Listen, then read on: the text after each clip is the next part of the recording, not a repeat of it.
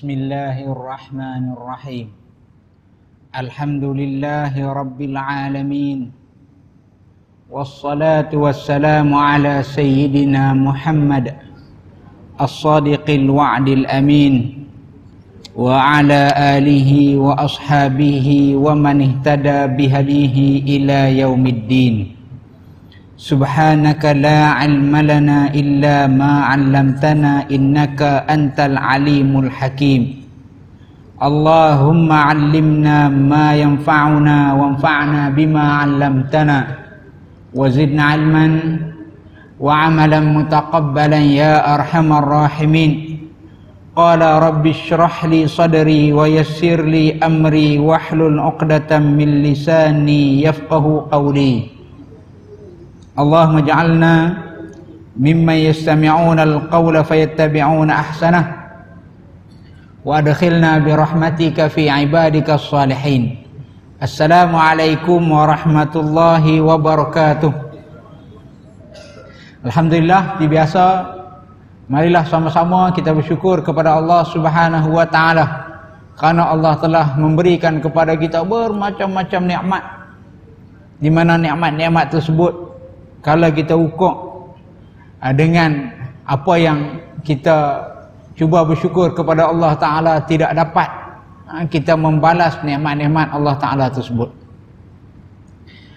pada malam ni insyaAllah kita akan sambung perbincangan kita dalam kitab Fiqah Sirah karangan uh, Syekh Al-Marhum Dr. Muhammad Said Ramadan Al-Buti kita telah sampai kepada jilid 2 Iaitu kita telah sampai kepada muka surat 364.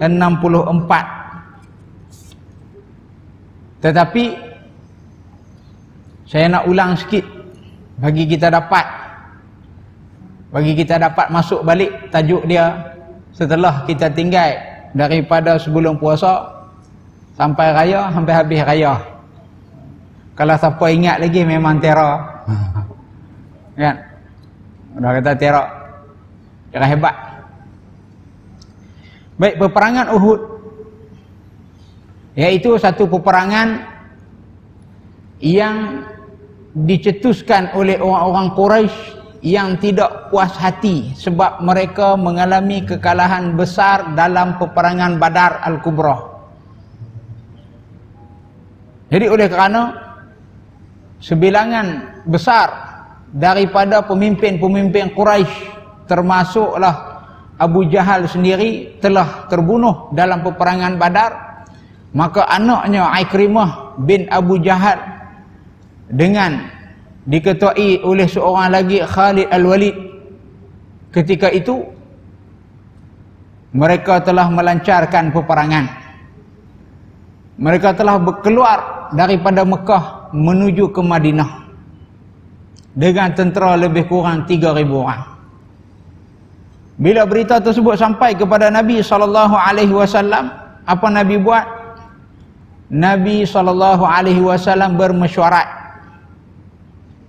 dengan sahabat-sahabatnya di Madinah, apa perlu kita buat? Kita tunggu sebagai defend ataupun kita juga keluar daripada Madinah berperang di tempat yang lain ada sebahagian daripada sahabat-sahabat yang tidak terlibat dalam perang badar. Mereka ini terlalu suka untuk mati syahid. Terlalu ingin untuk berjasa dalam menentang musuh-musuh Allah. Lalu mereka berkata kepada Nabi SAW dengan pendapat yang ramai mereka kata kita keluar untuk berperang di luar sana Sedangkan pendapat Nabi SAW, pendapat peribadi, Nabi lebih suka untuk duduk di Madinah dan buat apa pertahanan sahaja di Madinah. Kemudian bila dah habis mesyuarat, dipersetujui ialah keluar daripada Madinah pergi ke Uhud untuk berperang di sana. Bila Nabi SAW masuk dalam rumah bersiap pakai baju besi, kelengkapan tentera dan sebagainya, Nabi keluar rumah sebahagian daripada sahabat-sahabat Nabi, anak-anak muda yang bersemangat tadi merasa mereka menekan Rasulullah sallallahu alaihi wasallam untuk menerima keputusan mereka. Lalu mereka berkata kepada Rasulullah kata, "Wahai Rasulullah, tak apalah kita kita lupakan pendapat untuk keluar tadi, kita tunggu perang di Madinah." Lalu Nabi sallallahu alaihi wasallam kata, apabila seseorang rasul itu memakai baju besi untuk berperang, maka tidak layak baginya untuk berbuka untuk untuk buka semula melainkan setelah berperang. Nabi kita tak boleh dah. Keputusan dah buat, sudah. Kemudian Nabi SAW pun keluar berperang. Nabi memesan kepada sekumpulan sahabat, Nabi meletakkan susunan-susunan tentera dengan begitu hebat. Nabi meletakkan sekumpulan pemanah di atas bukit Uhud supaya menjaga belakang tentera umat Islam daripada diserang dari arah belakang Nabi pesan jangan turun walau apapun terjadi. Dia berkata okey, kami patuh. Maka peperangan bermula. Dengan sekelip mata sahaja peperangan bermula itu orang-orang Quraisy seramai 3000 orang lari bertempiaran. Apabila berdepan dengan 700 orang daripada orang-orang Islam. Di mana tentera daripada Madinah asalnya 1000 orang. Tapi bila dah nampak musuh dah, dah nampak dah musuh, tiga kata orang daripada kalangan munafik yang diketuai oleh Abdullah bin Ubay bin Salul, mereka cuba melemahkan orang Islam dengan menarik diri ketika mana musuh telah nampak di depan. Bukan saja tak beriman kepada Allah, tapi nak perosak orang Islam lagi. Kalau boleh suka Nabi mati. Ini orang-orang yang munafik. Bila dah nampak ada tentera sama tentera, dia pun tarik diri. Waktu tu perang saraf, tekanan semua ada. Kan? Apa yang berlaku? Orang Islam yang masih kekal, yang beriman kepada Nabi dan juga Allah Subhanahu Wa Taala terus kekal dan akhirnya bila peperangan dijalankan apa berjalan maka kemenangan beroleh ha, bagi pihak orang-orang Islam. Bila dah menang, orang Islam pun macam terlalu gembira. Maka mereka mengejar musuh dan membunuh musuh, mengejar musuh, membunuh musuh, mengambil harta rampasan dan sebagainya. Dan kumpulan pemanah yang berada di atas bukit tadi, akhirnya mereka pun turun sama untuk mengejar musuh yang telah lari. Lalu Khalid Al-Walid mendapati belakang tentera Islam tidak lagi di, dikawal Lalu Khalid Al-Walid ketika itu masih lagi belum masuk Islam. Dia memimpin tentera berkuda pusing belakang Bukit Uhud dan mereka serang pemanah-pemanah antaranya Abdullah bin Jubair tadi iaitu ketua pemanah yang berada di atas Bukit Uhud akhirnya dia terbunuh lalu mereka menyerang orang Islam dari dari belakang maka berlakulah kekalahan ha, bagi pihak tentera Islam pada orang kedua. Dan dikhabarkan bahawa Nabi SAW telah mati dibunuh. Ha, berita angin itu tersebar. Kemudian bila ada tentera Quraisy merasa mereka menang, lalu mereka berundur dengan begitu bangga sebab mereka dengar kata Rasulullah dah kena bunuh, lalu mereka berundur dengan begitu bangga. Tentera-tentera Islam pulang ke Madinah Tentera-tentera Quraisy kekal di Uhud tadi meraihkan kemenangan mereka pada pusingan kedua. Kemudian Rasulullah sallallahu alaihi wasallam menyeru Bilal, wahai Bilal, serulah semua orang yang berperang semalam supaya keluar berperang semula pada hari ini. Esok pagi Nabi suruh dia keluar, dia pakat keluar habis dengan keadaan baru balik perang marin ada luka, ada cedera, ada yang letih dan sebagainya. Semua keluar perang balik. Mereka berhenti di satu tempat. Kemudian mereka menyalakan api yang banyak. Sehinggalah orang Quraisy boleh nampak dari jauh. Orang Quraisy duduk ingat, kalaulah kita langkah sikit lagi, kita sampai Madinah. Bila kita sampai Madinah, kita boleh tebas habis. Kalau yang akak-akak kita cabut, tak ada dah orang-orang Islam atas muka bumi. Dia pun nak macam tu. Dia pun meraihkan kemenangan dan mereka sambil berbincang nak buat macam tu. Tiba-tiba seorang lelaki bernama Ma'bad ha, ketika itu dia masih lagi ha, belum masuk Islam lalu dia bagi tahu kepada kepada Abu Sufyan bahwasanya Muhammad telah keluar dengan tentera-tenteranya yang aku tidak pernah melihat sebegitu hebat dan mereka begitu semangat untuk menghancurkan kamu. Bila dengar macam tu orang-orang Quraisy pun jadi gerun. Lalu mereka segera beredar ke Mekah. Lari balik macam tu saja. Mana dia perang Uhud ada tiga orang orang pertama orang Islam menang. Orang kedua orang Islam kalah. Orang ketiga menang tanpa bertanding. Dia pun lari. Orang bersiap macam semalam lah. Malam ni pun surut nampak kan? Nak bersiap kan nak tunggi juga. Malam ni tak tahulah. Kan? Semalam pun surut malam ni pun surut. Mudah-mudahan daripada raja lain kan?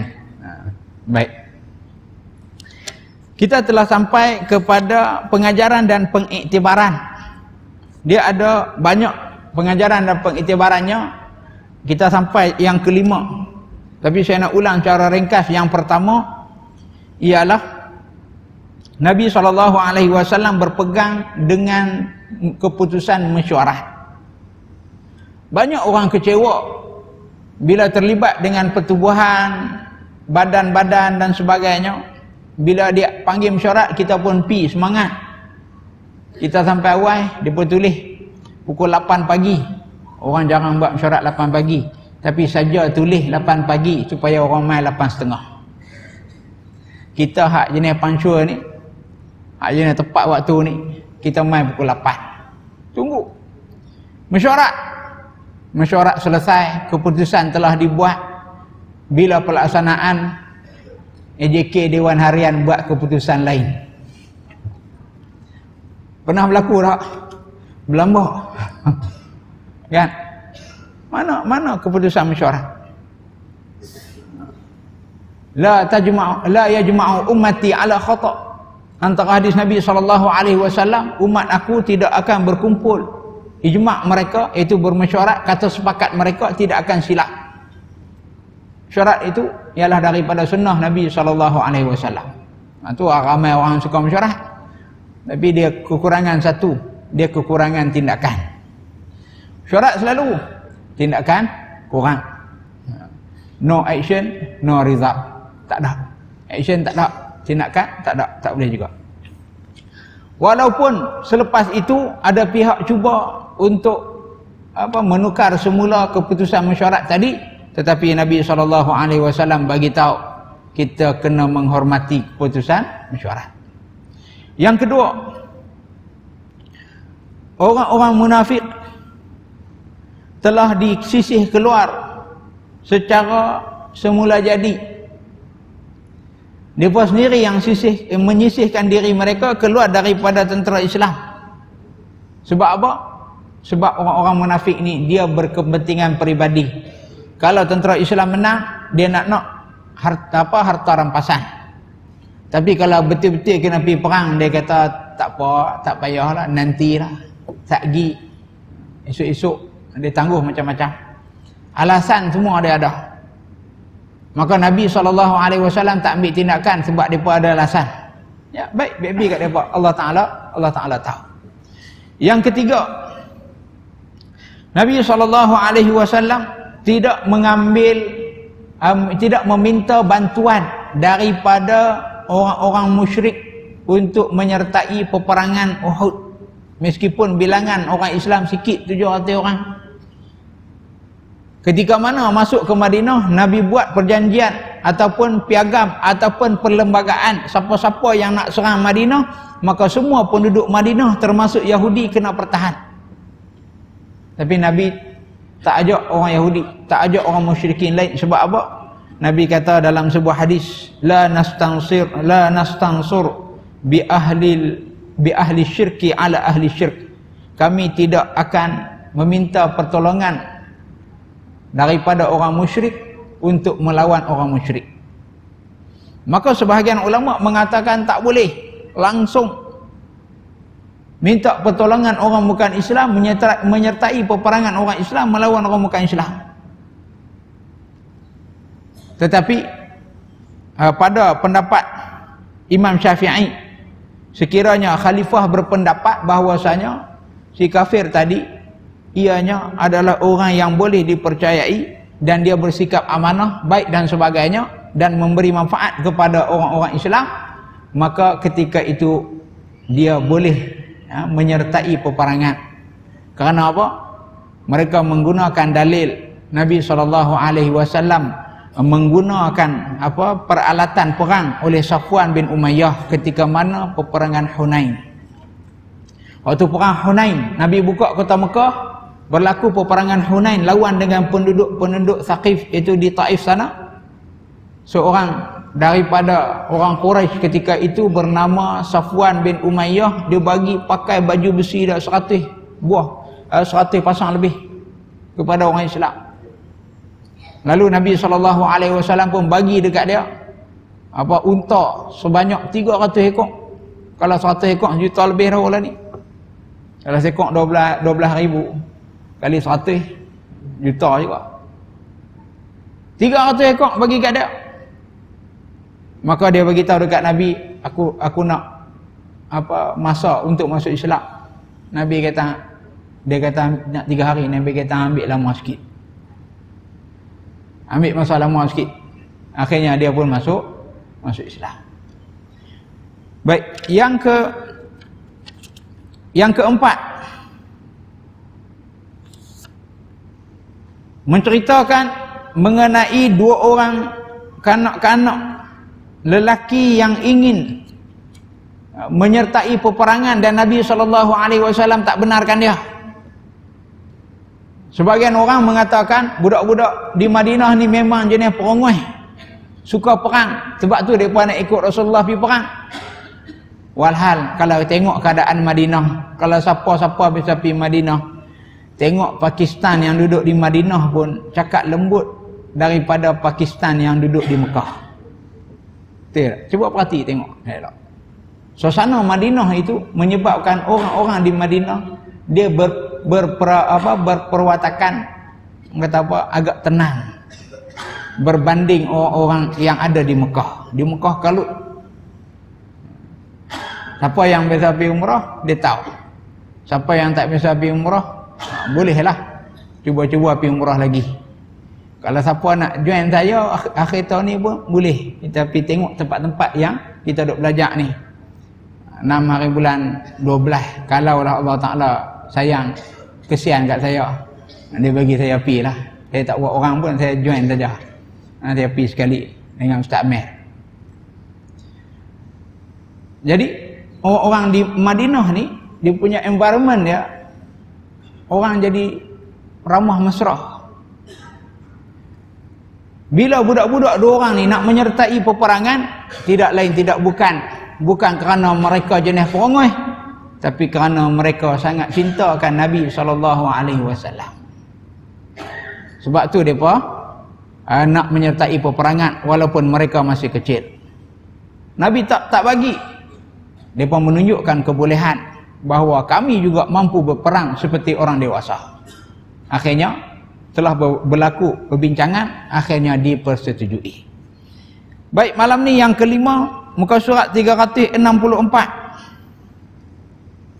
Andainya saudara mengamati sikap Rasulullah sallallahu alaihi wasallam ketika mana menyusun saf iaitu kedudukan tentera muslimin baginda meletakkan barisan pertahanan yang paling utuh di saf di saf akhir kaum muslimin dengan memerintah barisan pemanah jangan meninggalkan tempat mereka dalam apa suasana sekalipun hinggalah mereka menerima arahan daripada Rasulullah sallallahu alaihi wasallam. Di sini eh, kita katakan sekiranya kita meneliti dengan teliti niscaya kita akan dapati dengan jelas satu hakikat yang nyata atau terbayang akan satu fenomena yang lain pula yang tidak kurang pentingnya iaitu kebijaksanaan dalam ketenteraan yang dimiliki oleh Nabi sallallahu alaihi wasallam.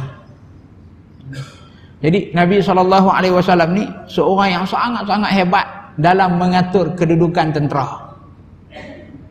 Dulu dalam perang Badar Nabi atok elok. Masa seorang sahabat Nabi dia tanya, "Wahai Rasulullah, adakah ini wahyu ataupun pendapat peribadi kamu?" Kalau wahyu tak dia kata apa dah, tutup mulut dah. Kita tak boleh tak boleh pertikah. Ha, sebab itulah bila wahyu ramai orang dia tak mau dah kaji Quran. Dia tak Quran dalam rak rumah dia sampai berabuk. Dia kata apa betul dah, tu sudah tengok lah. Duk baca apa-apa lagi, dah betul dah. Baca hak mana? Baca hak kita nak tahu betul ke tak betul. Kita kalau ada duit duit asli, kita tak tunjuk ke orang. Duit tulit, duit original kita simpan dalam beg duit. Tapi kalau jumpa duit palsu, kita kayuh habis ke orang. Maka sebahagian daripada orang Islam macam itulah. Al-Quran tu benar, wahyu daripada Allah, maka mereka pun simpan dalam almari. Biar berabuk. Tak gaduh kaji. Pergi kaji ilmu barat pula. Mereka ada betul, ada tak betul. Ini satu sindiran. Jangan jangan duk balik buat macam tu pula. Sebab ada orang dia jenis bendui. Kalau tak habak dia macam tu. Kan? Bukan bendui, dia jenis luruh. Dia luruh. Baik. Allah Ta'ala letakkan macam ni ataupun pendapat kamu wahai Rasulullah maka Nabi kata ini pendapat aku. Lalu sahabat tadi kata apa kata kita buat camp kita dekat dengan sumber air? Nanti musuh tak boleh dapat air maka mereka terpaksa menyerah kalah dalam perang Uhud Nabi SAW dah melihat persekitaran peperangan Nabi tahu tempat paling penting adalah Bukit Uhud Nabi pesan jangan turun selagi uh, tak dapat apa berita dah, dah dapat arahan daripada daripada baginda sallallahu alaihi wasallam. Jadi ada orang-orang orientalis, orang-orang barat, orang kampung kita kata orang putih lah.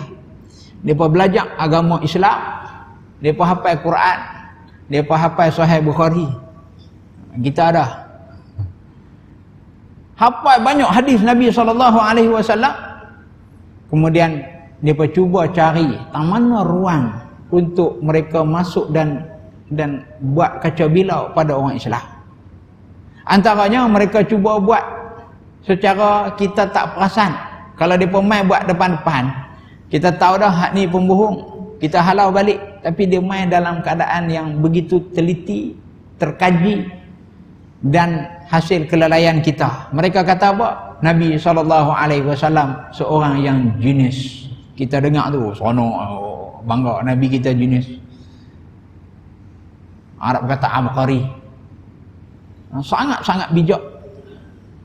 Sebenarnya, apa yang mereka cuba angkat-angkatkan itu, mereka cuba menafikan wahyu Allah Subhanahu Wa Taala. Kehebatan Nabi SAW itu adalah daripada Allah Subhanahu wa taala pelengkap kenabian Nabi sallallahu alaihi wasallam. Bila Nabi tengok saja Nabi tahu dah ni macam ni ni macam ni ni macam ni. Seolah-olah Nabi sallallahu alaihi wasallam telah melihat apa akan berlaku kepada orang Islam. Seolah-olah macam tu. Kalau hangpa langgar ni bermasalah. Baik. Tengok yang uh, dalam muka surat 365 di mana Nabi sallallahu alaihi wasallam ah, cuba apa memberi penekanan yang khas pada sahabat-sahabat yang terlibat dengan pasukan pemanah di belakang sana. Karena apa? Karena Nabi sallallahu alaihi wasallam seolah-olah membuat satu operasi minover ah, yang hidup bersama-sama, yang live bersama-sama dengan para sahabat bagi menentang musuh utama iaitu diri sendiri. Musuh bukan hanya musuh di depan. Kita ada musuh dalam ni. Kalau kita kalah dengan musuh dalam diri, tak usah sembang kita nak menang dengan musuh di depan. Sebab apa? Sendiri pun kalah. Macam mana nak kalahkan? Nak kalahkan orang lain. Baik. Berkemungkinan natijah yang negatif. Besar faedahnya daripada natijah yang positif. Bentuk dia macam tu. Rubba daratin nafi'ah.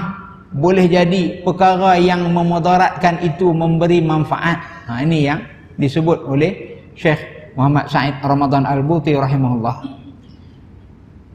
Boleh jadi perkara yang memudaratkan itu memberi manfaat. Contoh seorang hamba Allah ni dia diisytiharkan oleh doktor bahawa dia mempunyai penyakit kronik dan dia hanya boleh hidup tiga bulan saja. Tiga bulan. Lepas tu tengok terus jadi malaikat, masya Allah. Main masjid, hadir diri kuliah, bermunajat kepada Allah, teriak-teriak minta ampun kepada Allah. Lepas sebulan setengah, doktor panggil balik. Dia pun main dengan berdebar-debar, doktor kata hari itu darah orang lain, silap. silap. Zaman canggih-canggih macam ni pun boleh silap boleh silap. Baik. Kemudian dia pun berkata kepada Allah Subhanahu wa taala kenapa kesilapan ini tidak berlaku dulu ya Allah? Lazatnya bersama denganmu ya Allah. Nampak? Kemudaratan tadi membawa manfaat kepada dia sakitnya diri sakitnya keluarga matinya sebahagian daripada orang yang kita kasihi hilangnya harta dan sebagainya ianya membawa kepada kita manfaat sebenarnya. Kalau tengok balik hukum Allah Ta'ala, setiap yang berlaku itu tertakluk kepada iradah Allah. Kehendak Allah. Dan setiap kehendak Allah itu berlaku. Dan iradah Allah itu tertakluk dengan hikmah yang mutlak. Dan hikmah yang mutlak itu tertakluk dengan kebaikan yang mutlak. Apa-apa benda berlaku atas muka bumi ianya adalah kehendak Allah dan ianya berlaku berdasarkan hikmah yang mutlak dan hikmah Allah Ta'ala itu tertakluk kepada kebaikan semata-mata. Walaupun kadang-kadang berasa perit pada kita tapi ia, ada, ia adalah yang terbaik untuk kita yang keenam seorang sahabat Nabi bernama Abu Dujanah. Bila Nabi SAW apa menawarkan siapa nak pegang pedang aku? Terus dia terus dia angkat tangan. Dia kata saya wahai Rasulullah dia pergi ambil. Ini fast action fast result. Terus dia pergi ambil. Bila Nabi suruh terus dia pergi ambil. Tak apa tengok orang lalu tak ada orang saya ambil. Jangan untuk kebaikan kemarin main Jumaat ada seorang pakcik tu kesian kat dia lah saya tengok kesian sila, sila, sila, sila, pergi depan, sila, pergi depan. Saya pun pergi depan. Saya duduk belakang dia, saya pergi depan. Saya pergi tepi dia, saya pergi depan. Saya pula tengok kosong lagi, saya tarik dia. Mai, mai, mai. Eh, tak apa, tak apa, tak apa, tak apa. Pergi depan. Dia tarik orang lain pula, pergi depan. Itu antara sikap negatif. Baik, baiklah dia pergi masjid tu, Alhamdulillah. Tapi, boleh bagi bagus lagi. Ha, boleh bagi bagus lagi. Kan salah pun. Dua langkah ya. Tak kena bayar betul pun. GST pun tak dah ha, macam tu pi depan saja dapat pahala banyak tapi tak mau Allah Alam boleh jadi dia jaga tiang ke dia jaga tabung ke ataupun dia tengok kanak-kanak kat belakang Allah Alam ha, kita bersangka bersangka baik jadi Abu Dujanah ni bila Nabi SAW offer siapa yang nak pegang pedang aku ini dan dan berada di saf hadapan Abu Dujanah dia pergi pegang. Kemudian dia ni jenis suka ikat kepala dengan tali merah. Kemudian dia berjalan di hadapan tentera itu dengan lagak yang sombong yang begitu belagak. Ya Allah Nabi Radon. Tunjuk sado dia. Nabi kata ini gaya jalan yang dimurkai oleh Allah kecuali pada tempat-tempat sebegini sebab apa? nak tunjuk dekat musuh perang saraf dengan musuh dan sebagainya ada sahabat-sahabat Nabi merahkan rambut dia sebab apa? Nak bagi musuh tengok tu dia siapa singa, singa ke orang, orang ke singa. Betul tuan-tuan dan puan Dalam peperangan melawan tentera Parsi ada ha, ada orang Islam yang mana bila musuh lepas singa dia terkam lagi laju pada singa. Dia bunuh singa. Dia tengok musuh lepas singa mai, dia terkam pi kat singa. Ni orang Islam. Di mana mati syahid dia lagi suka daripada dia hidup. Habis cerita, kita lawan dengan orang suka kena tumbuk. Jenuh kita tumbuk dah, tumbuk dia ada seronok, tumbuk dia ada seronok. Kita kena tumbuk sekali lebam. Kan? Aduh lah, aduh lah. Dia, dia kena tumbuk seronok. Bunuh dia, dia seronok. Bunuh dia pun, dia pun seronok. Habis cerita. Kan? Lari. Orang-orang yang lawan dengan tentera-tentera yang beriman macam tu, dia pun lari. Dia pun takut. Baik. Abu Dujanah ni memberi petunjuk kepada kita bahawasanya contoh-contoh peperangan antaranya strategi peperangan peperangan kita boleh buat benda-benda yang kalau sesama kita kita tak boleh buat. Ha, kalau dalam ni dia bagi contoh. Takabur itu dibenci oleh Allah tapi depan musuh kena tunjuk. Supaya musuh takut. Ha, dalam dalam peperangan. Apa itu negara kita macam mana? Negara kita tak perang. Negara kita dia konteks dia agak kompleks dia tidak ah, tidak lagi menjadi negara Darussalam ataupun Darul Harb negeri yang selamat ataupun negeri peperangan. Ini tak ada dah dalam konteks negara negara kita buat hari ini. Tak ada macam tu.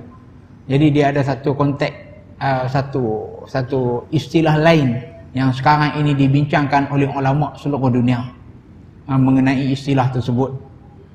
Maka istilah kafir harbi dengan dengan kafir zimmi itu sekarang diperbincangkan oleh ulama-ulama di seluruh dunia mengenai title negara-negara macam tu. Sebab apa? Sebahagian daripada orang Islam dia buat rumah ibadat Islam ni masjid ni pun minta tolong orang bukan Islam juga. Kan? Main buat dalam masjid. Bila ada orang bila siap masjid dia pun tak boleh masuk ah. Sebelum buat masjid dia sebelum siap masjid dia boleh masuk. Tapi bila habis siap masjid dia tak boleh masuk. Sebab apa orang Islam ambil bantuan orang bukan Islam? Sebab ada orang Islam tipu dalam buat masjid. ada beberapa buat masjid jadi mangsa. Cukup-cukup tak patut. Surau jadi mangsa cukup-cukup tidak patut. Antara bentuk-bentuk takbur yang dilarang ialah seorang Muslim itu berjalan di atas muka bumi ini dengan cara bergembira riak dan bongkok. Jalan dengan gaya yang sombong. Ha, sendiri tahu tak? Jalan sombong macam mana? Kalau jalan kaki, cara jalan kaki, cara naik motor, cara naik motor, cara naik kereta, cara naik kereta sombong. Kita pula dalam hati ni janganlah cepat marah sangat. Tengok orang bawa laju potong kiri. Saya pun pernah bawa laju daripada Pulau Ketik mai Sungai Petani saya bisa bawa 12 minit. Sebab apa? Hospital telefon tolong mai segera anak akan dioperate saya kena pergi ambil anak pergi hantar operate ni minor saja. Ha, minor operation tapi bila dah ada kosong hospital panggil saya pun perderah jadi kadang-kadang orang tu kalut kerana urusan tapi kita jangan kalut jangan sombong. Kita jangan kita jangan sombong. Cara jalan kita, cara naik motor kita, cara apa duduk kita dan sebagainya. Ha, bukan bukan orang kata apa? Bukan kita boleh buat-buat macam tu kerana apa? Allah Taala marah. Lagi antaranya di di dalam medan perang perkara ini dianjurkan. Anda tak ada masalah hatta tak makruh langsung.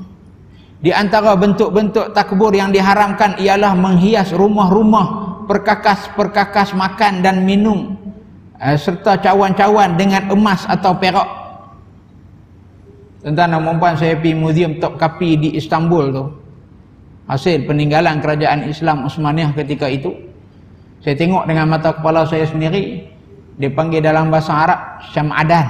Itu tempat letak lilit dulu dia tak pakai elektrik macam ni, dia pakai lilin, dia tak lilin besar, besar batang pisang lilin. Dia letak atas apa? Atas satu tempat uh, tempat letak tersebut dibuat daripada emas. Emas tulin 999 seberat 40 kilo. Saya tengok ada dua, hak lain siapa kebas saya tak tahu. Ada dua. Ni kerusi duduk ni, duduk atas batu zamrud. Kita batu zamrud pun kadang-kadang tak bisa tengok. Kita tengok batu zamrud. Ha? Batu zamrud warna hijau. Dalam dia macam ada ayah. Dia ada banyak-banyak grade. Ya. Pergi tengok tu dia sampai macam tu. Bermewah-mewah pada rumah. Peralatan makan dan juga bekas-bekas minuman. Tak boleh. Tetapi dalam peperangan. Menghias senjata dengan perak adalah tidak ditegah. Sarung pedang kita tengok sarung pedang yang ditayang di muzium-muzium replika replika pedang Rasulullah. Ada bertatahkan perak kita tu dia sebab ini nak menunjukkan kepada musuh ni kita macam ni. Hebat. Hebat macam tu. Baik yang ketujuh muka surat 366 sekiranya kita teliti lagi masa dan tempoh berlakunya peperangan di antara kaum muslimin dan musuh-musuh mereka kita akan dapati ada dua peringkat dua fasa. Peringkat yang pertama orang-orang Islam tetap di tempat masing-masing dan patuh dengan arahan-arahan yang mereka terima daripada ketua mereka iaitu Rasulullah sallallahu alaihi wasallam. Lalu apakah natijahnya bila mereka dengar cakap Nabi, mereka dapat apa? Kemenangan telah menyebelahi pihak mereka. Di mana orang-orang kaum musyrikin rasa gerun dan terus lari. 3,000 orang lari. Lawan dengan berapa orang? 700. 3,000 lawan 700, 3,000 lari. Mula perang saat dia. Prung lari. Sebab apa? Sebab orang-orang Islam ketika itu mereka patuh kepada Nabi sallallahu alaihi wasallam. Dalam surah Ali Imran Allah Subhanahu wa taala semadikan cerita mengenai peperangan Uhud ini dalam surah Ali Imran pada ayat yang ke-125 dengan maksudnya dan sesungguhnya Allah taala telah memenuhi janjinya kepada kamu ketika kamu membunuh mereka dengan izinnya sampai pada saat kamu lemah dan berselisih dalam urusan itu dan mendurhakai perintah Rasul. Setelah itu setelah itu Allah memperlihatkan kepada kamu apa yang kamu sukai iaitu dia suka menang dan suka harta rampasan. Di antara kamu ada orang yang menghendaki dunia dan di antaramu ada orang yang menghendaki akhirat ada orang perang ligan musuh kerana nak bunuh musuh. Ada sebahagian daripada orang Islam dia ligan sekali kerana nak ambil harta rampasan. Kemudian Allah Subhanahu wa taala memalingkan kamu dari mereka untuk menguji kamu. Sesungguhnya Allah telah memaafkan kamu dan Allah mempunyai kurniaan yang dilimpahkan ke atas orang-orang yang beriman. Ay, masuk ayat ni macam ni. Mula-mula Allah Ta'ala bagi kamu menang. Sehinggalah berubah satu peringkat yang lain. Sebahagian daripada orang Islam, bukan semua. Nak kepada dunia. Maka apa berlaku? Ketika itu Allah Subhanahu Wa Ta'ala uji kamu. Allah Ta'ala kata. Tapi Allah Ta'ala kata, siapa yang melanggar perintah tadi, teringin nak harta dunia dan sebagainya, maka Allah Ta'ala memaafkan bagi orang yang bertaubat. Allah Ta'ala maafkan mereka bagi mereka yang bertaubat. Peringkat kedua di mana peringkat pertama dengar cakap Nabi apa natijah dia? menang. Peringkat kedua orang muslimin mula memburu orang kafir untuk menumpaskan sehabis mungkin dan mengumpul harta serta tawanan nak tawan. Sebab apa nak tawan? Bukan nak tawan tentera. Orang kafir Quraisy bawa kaum wanita yang begitu banyak. Supaya apa? Supaya tentera lelaki yang berperang di hadapan kalau lari kaum wanita belakang ni duk bu depa apa pengecut mama depa pun tak berani. Kononnya. Kononnya. Tapi bila takut dengan mata pedang dia tak kira dah. Bini dia pun dia tinggal Siapa pun dia tinggal takut nyawa. Sebab apa? Mereka hanya ada nyawa saja atas muka bumi. Kita tak apa. Kita ada Allah Subhanahu Wa Taala. Nyawa kita milik Allah. Inna lillah. Kita milik Allah. Wa inna ilaihi raji'un. Dan kita akan kembali kepadanya. Bila? Tak tahu. Kita akan mati. Bila? Tak tahu. Tapi mereka orang-orang kafir. Mereka hanya menghargai nyawa. Ha, macam tu. Lari. Jadi. Keinginan mereka. Telah membayangkan kepada mereka bahawa tempoh masa yang mereka terima daripada Rasulullah sallallahu alaihi wasallam tu habis. Maka orang hak duduk atas bukit yang menjadi pem, apa pemanah-pemanah tadi depa ingat masa ataupun loceng peperangan sudah dibunyikan tamat. Ring tamat. Depa pun turun nak ligan ada yang nak ligan nak bunuh musuh ada yang ligan kerana nak harta. Ini ijtihad mereka iaitu satu hukum yang mereka keluarkan daripada pendapat peribadi untuk mereka lakukan. Dia buat apa? mereka meninggalkan posisi mereka. Sebahagian sahabat lagi termasuk Abdullah bin Jubair dia beristihad bahawasanya masa belum habis Nabi pesan jangan turun. Maka dia tak turun karena sebagian orang menggambarkan bahawa mereka ini melanggar perintah Rasulullah macam sampai sampai jadi macam jatuh akidah. Tak.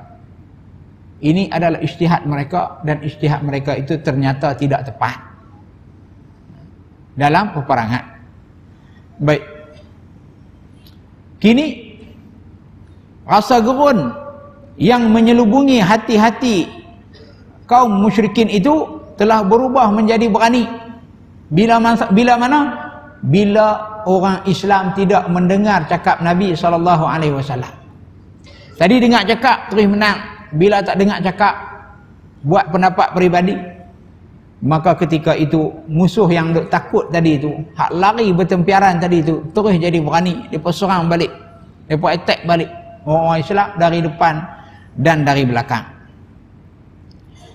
seperti mana dalam surah Ali Imran Allah Taala sebut istahsunahum biiznih hatta idza fashiltum wa tanaza'tum fil amr wa asaitum min ba'di ma arakum ma tuhibbun minkum man yuridu dunya wa minkum man yuridu al-akhirah thumma sarafakum anhum liyabtaliyakum. Ayat tadi ayat 125 yang saya dah baca dah tadi. Allah Taala sebut bahawasanya kamu membunuh mereka dengan izinnya sampai saat kamu lemah mana dia kamu sendiri kena serang balik dengan dengan musuh ini adalah ujian bagi kamu Muka surat 369. Cuba perhatikan. Betapa parah dan beratnya risiko yang diterima lantaran kesalahan besar ini. Dan betapa berat natijahnya secara umum. Apa dia? Beberapa orang tentera Islam telah mengakibatkan bencana yang parah kepada semua. Nampak? Sebab tu dalam tentera dia suruh buat sama. Salah seorang, semua kena. Seorang berak tak basuh tak basuh jamban elok semua kena calik tape dekat tangan. Orang semua cek dah. Kan? Satu dom tu ketua dom cek dah semua. Semua clear tak ada apa.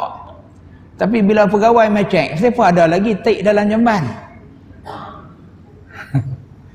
saya nampak ada orang yang bicret kan? Buat ketua dom kalau dia tak tengok aku nanya dia kata ya dia cek semua dah clear. Tapi apa ada lagi.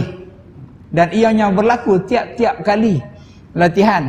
Mesti ada berlaku sejarah sekali. Nak calik tak kat hidung ha, makan dengan tangan kanan. Tapi itu dia pun nak ajak. Dia pun dia pun nak ajak.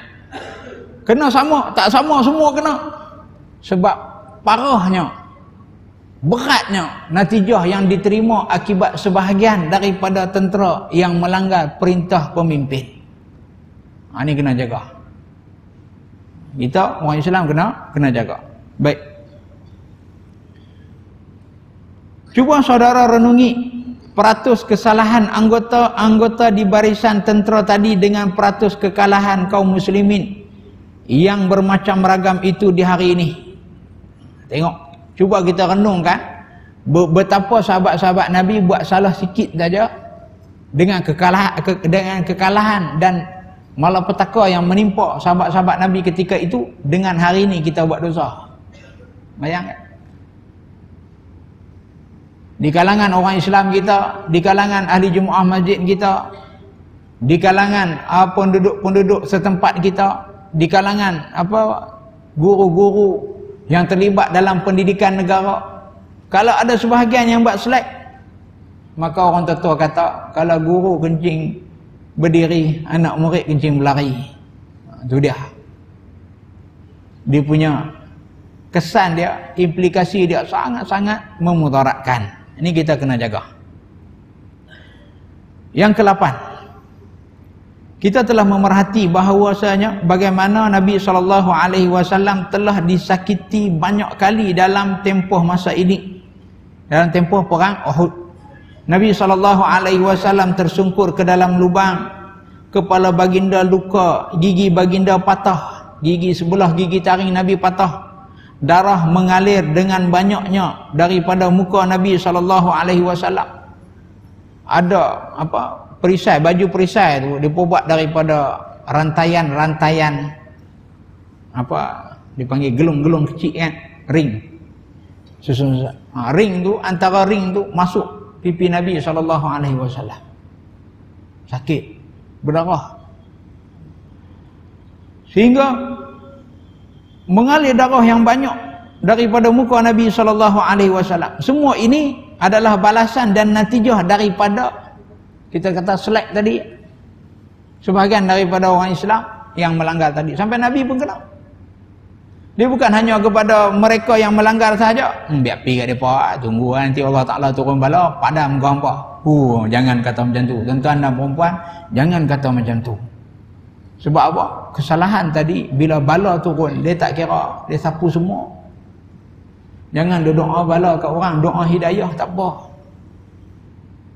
Doa bala kalau bala turun angin mai, boleh lompat mai rumah kau ni, rumah kau ni, rumah kau ni, tak ada. Dia mai dia rong macam tu saja. Tapi kalau rahmat dia turun, dia pilih pula. Dia pilih. Nabi bala jangan. Sebab apa? Kesilapan yang sedikit daripada orang Islam menyebabkan sampai Nabi SAW kena macam-macam macam tu. Tetapi apakah rahsia di sebalik tersebarnya berita angin di mana Rasulullah SAW telah mati di kalangan kaum muslimin? Jawapannya ialah ikatan kaum muslimin dengan Rasulullah sallallahu alaihi wasallam dan kehadirannya di kalangan mereka begitu kemas terjalin sehingga mereka tidak sanggup berpisah dengan Nabi sallallahu alaihi wasallam. Sebab bila depa berketau kata Nabi kena bunuh terus sebahagian yang yang sebahagiannya letak pedang dia kata Rasulullah tak ada dah. Apa guna kita perang lagi? Ada sebahagian pula yang kata apa? dia kata hang nak hidup lagi ke lepas Nabi hidup hang nak sayang buat-buat lagi nak lari balik buat-buat jom kita perang sampai kita pun mati ada yang faham ada yang faham macam tu jadi bila dengar Nabi SAW kena bunuh orang Islam jadi jadi huru hara hilang seperti apa anak ayam hilang ibu orang sana orang sini dan sebagainya ini menunjukkan kekemasan ikatan itu boleh diabadikan setelah perginya Rasulullah sallallahu alaihi wasallam. Bila Nabi mati, hampa jangan jadi cempera ha, macam tu. Ini satu tes permulaan kepada orang-orang Islam. Soal kematian Rasulullah sallallahu alaihi wasallam adalah uh, satu perkara yang tak pernah terlintas dalam ingatan para sahabat ketika itu. Andaian kematian Rasulullah sallallahu alaihi wasallam ni tak masuk dalam percaturan perhitungan mereka langsung. Mereka ingat Nabi akan hidup selama-lamanya macam tu. Ha, macam tu. Jadi tidak syak lagi sekiranya mereka sedar tentang kematian Rasulullah yang hakiki sudah pasti akan meremuk ha, meremuk redamkan jantung hati mereka, seluruh badan dan perasaan mereka akan tergugat, akan bergoncang, akan luluh dan akan runtuh sehabis-habisnya. Kita tengok apa yang berlaku ketika mana Rasulullah wafat di Madinah. Sampai Sayyidina Ubak, Sayyidina Umar ni punya dia sayang dekat Nabi sampai dia tak mau dia tak mau percaya. Kata Nabi telah telah wafat. Dia tak mau percaya. Dia bukan tak percaya dia tak mau percaya. Dia anggap ah dok kot dok kot dok kot. Ha, duk dok tu. Ha, akhirnya ditenangkan oleh Sayyidina Abu Bakar As-Siddiq radhiyallahu taala menunjukkan bahwasanya mereka telah menghadapi beberapa pengajaran Allah Taala ajak pelan pelan pelan bahawa nabi juga manusia. Nabi juga akan akan mati. Ha, macam tu. Maka sebagai hikmah yang jelas mengenai berita angin khabar angin yang tersebar ini adalah merupakan satu percubaan dan pengalaman yang pahit di antara pengalaman-pengalaman dan perjalanan ketenteraan yang agung.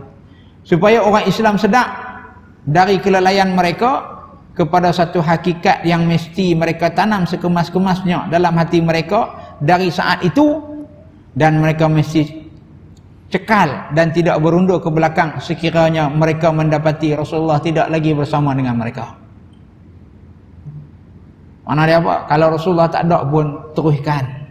Itu yang bila Rasulullah telah wafat, Syekh Abu Bakar dengan begitu tenang, beberapa sahabat-sahabat lain mereka berkumpul di apa di apa ah, di satu bangunan berdekatan dengan Masjid Nabawi itu mereka membincangkan siapakah yang layak menjadi pemimpin setelah ketiadaan Rasulullah. Jenazah mulia Rasulullah masih berada dalam rumahnya. Masih belum dikebumikan. Kita kata tanah merah lagi. Tak bukan tanah merah. Jenazah pun tak disemadikan lagi. Apa berlaku? Mereka telah membincangkan bagaimana kita nak mentadbir orang Islam bila umum umum kata nabi telah mati dalam perang Uhud oh dia kacau bila habis nampak tapi bila dah sahabat nabi dah belajar daripada berita tadi kejadian tadi maka bila Rasulullah real wafat sebahagian dari sahabat-sahabat Nabi yang telah menerima ajaran dan pengalaman tadi mereka steady dan menguruskan pengurusan orang Islam. Ini yang cuba diajar oleh Allah Subhanahu wa taala dalam perang uh, dalam perang Uhud. Allah Taala sebut dalam surah Ali Imran ayat 144 Allah Taala kata wa ma Muhammadun illa rasulun qad khalat min qablihi rusul. Tidaklah Muhammad itu melainkan seorang rasul yang telah berlalu sebelumnya beberapa rasul yang lain. Fa afa imma ta'au qutil in qalabtum ala aqabikum apakah jika dia wafat ataupun dibunuh patutkah kamu berpaling ke belakang murtad dan sebagainya wa man yanqalib ala aqibaihi falan yadurrallaha syai'a Barang siapa yang berpaling ke belakang menjadi kufur maka ia tidak memudaratkan Allah Taala apa-apa. Sedikit pun. Seluruh manusia tak mau beriman kepada Allah, Allah tak rugi pun. Yang rugi siapa? Manusia. Wa sayajzi syakirin dan Allah akan memberi balasan kepada orang-orang yang bersyukur. Akhir sekali kesan positif yang dapat diperhatikan dengan jelas Ha, dalam pelajaran ini di hari berpindahnya Nabi sallallahu alaihi wasallam ke alam baqa berita angin di Uhud ini dengan segala ayat al-Quran yang telah diturunkan telah menggerak dan menyedarkan kaum muslimin terhadap hakikat ini bahawa Nabi itu manusia dan dia juga akan mati. Di mana mereka telah mengucapkan selamat tinggal yang abadi kepada Rasulullah sallallahu alaihi wasallam dengan hati yang diselubungi kesedihan. Kemudian mereka kembali balik mendukung amanah yang ditinggalkan kepada mereka amanah dakwah dan jihad fisabilillah mereka bangun bak lelaki dan tokoh yang mantap dengan iman iman yang mendalam dan unggulnya akidah pegangan mereka penuh tawakal kepada Allah Taala semata-mata jadi walaupun Rasulullah sallallahu alaihi wasallam tidak lagi bersama dengan kita hari ini, tapi kita sanggup lagi mai. Ha, tinggal habis badminton apa semua, mai duk berkebah kaki dalam masjid semata-mata apa? Kita nak kenal Rasulullah sallallahu alaihi wasallam pada malam ini. Dan ajaran yang dibawa oleh Nabi sallallahu alaihi wasallam.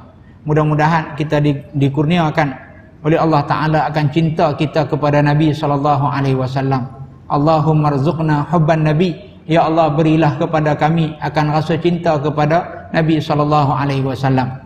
Wabillahi taufiq wal hidayah. Assalamualaikum warahmatullahi wabarakatuh بسم الله الرحمن الرحيم الحمد لله رب العالمين والصلاة والسلام على أشرف الأنبياء والمرسلين وعلى آله وصحبه أجمعين اللهم تقبل منا واقبلنا وعافنا واعف عنا واغفر لنا واشفنا واقضي حاجاتنا ويسر لنا أمورنا وارحمنا وانصرنا ولا تضرب بأعمالنا وجوهنا نلقاك وأنت راض عنا بجاه سيدنا محمد صلى الله عليه وسلم وبأسرار سورة الفاتحة.